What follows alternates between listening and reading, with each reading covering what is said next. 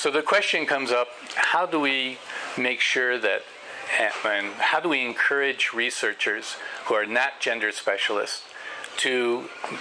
be more gender sensitive in their research? How do they integrate that and demonstrate that they're understanding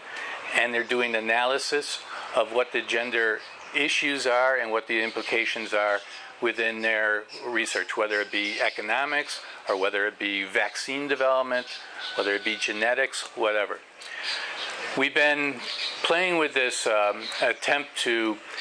bring in people uh, from the other disciplines and get them involved in understanding what gender research is, but providing them also the incentives why it makes sense for them to do it. Uh, and part of that is a direct carrot uh, approach in terms of uh, if we if they can define a project that has a gender dimension to it, we will provide support to that, whether it be financial support or whether it be also some uh, gender specialists backstopping them. And in this respect, we've been trying a program of developing a, a, a team of what we're calling gender fellows, who would be people from other disciplines, but who have invested enough of their time to understand what gender issues are and how that influences their research, and are implementing that kind of research and are doing some case studies. We're, we're in the process of uh, finalizing a series of case studies in which we've done exactly that, uh, where the the technical researchers from other disciplines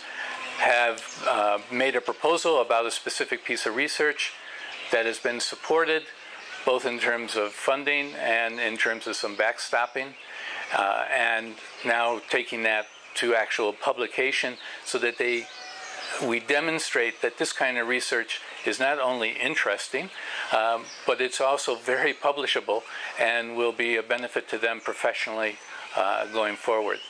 So we, this is something that has been difficult to demonstrate in the past because there hasn't been uh, as much of a, a, demand for gender publications as such, uh, especially among the other other disciplines. Uh, we hope that this will really demonstrate that there is a, a market um, and professional benefit from demonstrating